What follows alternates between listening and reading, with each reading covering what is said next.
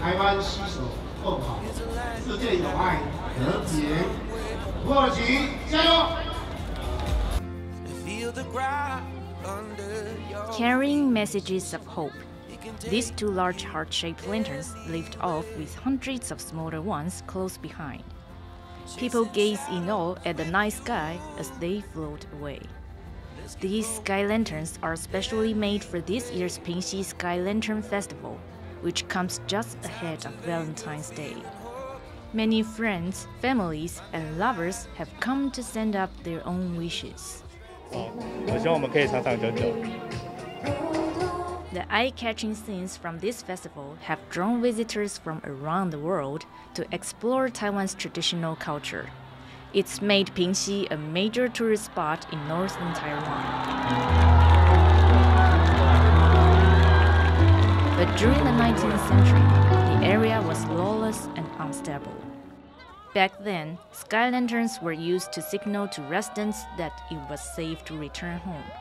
As the area developed, the paper lanterns began being used to carry people's hopes and desires to the gods. I'm from Israel. We love Taiwan.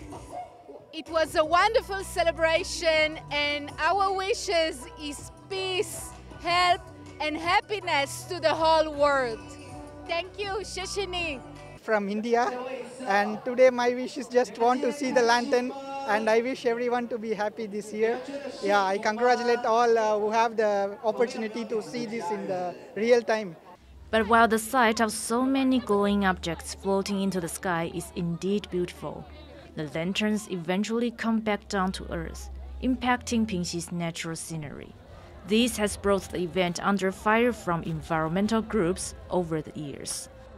The day after the Pingxi Sky Lantern Festival, fallen lanterns are often seen in these woods. Cleaning up lanterns has become a popular activity, balancing cultural preservation and environmental protection. Where the lanterns fall depends on the direction of the wind that night. To cover all that ground, several teams led by local cleanup group Outdoors Fun spread out across the surrounding area. 因为天灯节其实每一梯次一个晚上，可能就是好几百盏的天灯就释放出去。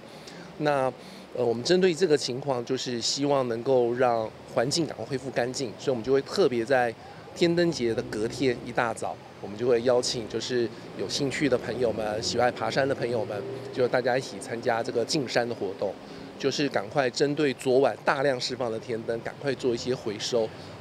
Pingxi already has a system in place that pays locals to recycle the lanterns.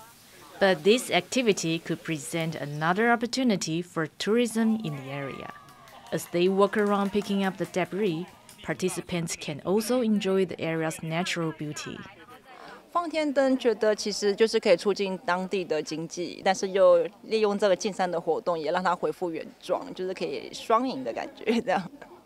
The vibrant culture around the Sky Lantern Festival is hard to let go of, even for many environmentalists.